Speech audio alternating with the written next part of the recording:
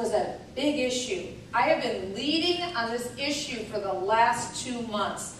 Do not raise the debt ceiling.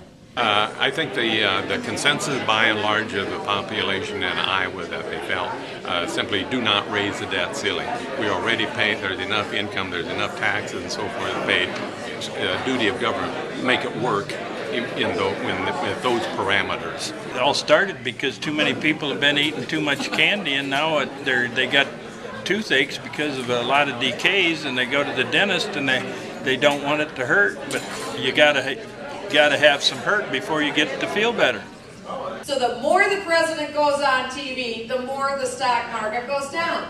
Because if you look at what his statement was, he said the reason why we lost our credit rating is because all of the people who wanted us to get our house in order and stop spending money, like, oh, the Tea Party, the Republican Party, fiscal conservatives, he said that's the reason why they downgraded us. You got to take a hell of a lot of candy away from a hell of a lot of people. It even includes, if they say, you know, some of the subsidies that we receive, and we receive uh, a lot of ag subsidies and, and, those sort of things. You know, even if uh, we get a proportional cut in, that sense, you know, we can live with that. Now think of this logic. Think of this logic. They got their money last week, 2.4 trillion. So they got their money and after the fact, two days, the market crashes like over 500 points.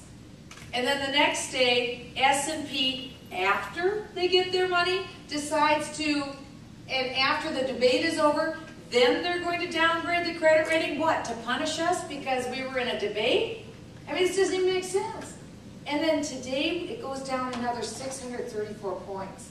It's funny on one hand, it's absolutely tragic on another hand. You can't borrow yourself out of debt. I have not. Uh, show me one example in world history of anybody that was able to borrow themselves out of debt. One example.